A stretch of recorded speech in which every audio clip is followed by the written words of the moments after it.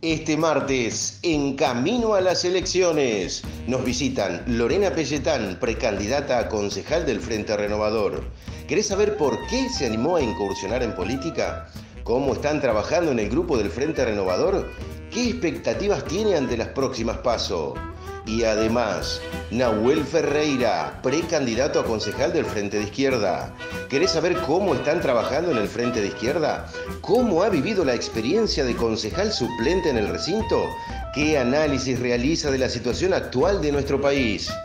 Esto y mucho más en Camino a las Elecciones, este martes, 22 horas, por Canal 2 de Multimedio Pringles.